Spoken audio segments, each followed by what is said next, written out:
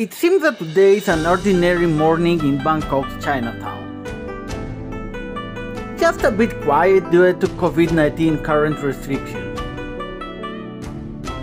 However, in reality, it's a special day happening only once in a year. You can see everywhere shop owners to burn golden cartons and ghost money in front of their shops.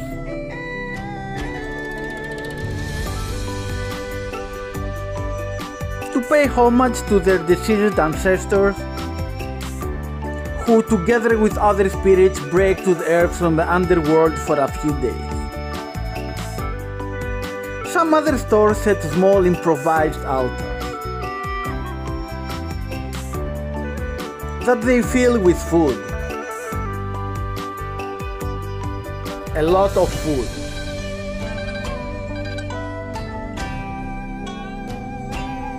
And drinks.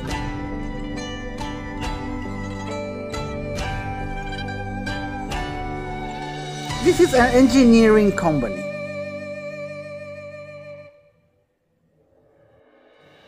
They also created a nice altar with offerings to the ghosts. Fruits, sweets, very delicious looking dishes, things for the spirit to chew,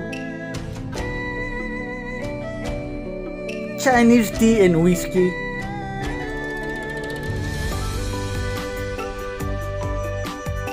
Packages with dry or canned food. The owners lit candles and aromatic materials.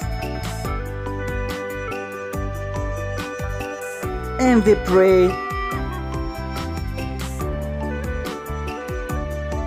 together with their families.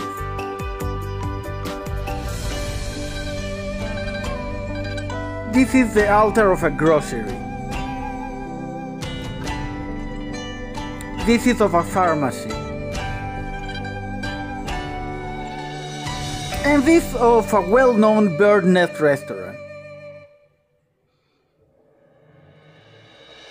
At the end, all this great food will get consumed by the people who work at the shop.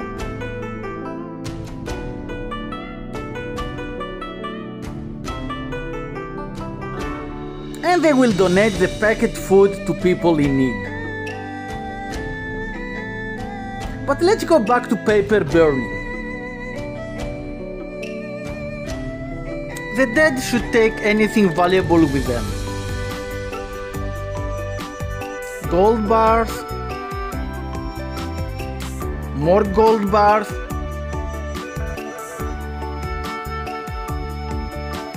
golden and silver leaves,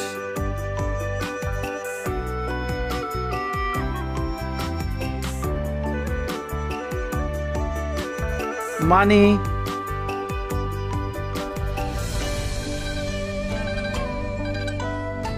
Checks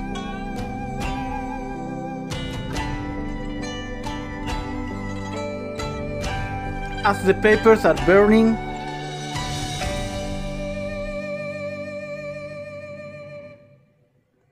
The spirits take with them the value they represent